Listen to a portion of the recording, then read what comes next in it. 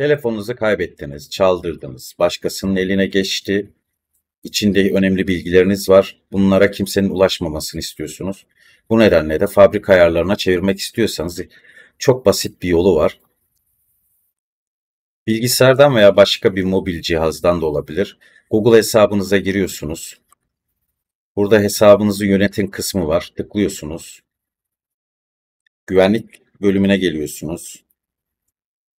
Burada cihazlarınız bölümü var. Burada bu hesapla açmış olduğunuz cihazları görebiliyorsunuz. Tüm cihazları yönet diyorsunuz. Burada sıfırlamak istediğiniz veya yerini bulmak istediğiniz cihazı seçiyorsunuz.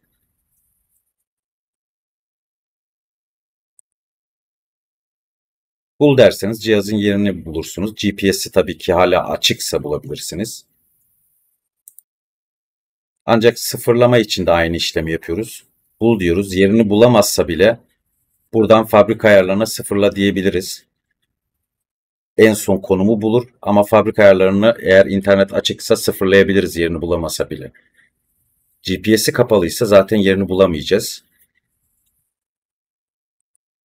Biri çalmışsa zaten e, muhtemelen kendisi sıfırlamıştır. Eğer açılış şifresi varsa giremeyeceği için sıfırlamıştır. Ama siz de bu yöntemle sıfırlayabilirsiniz.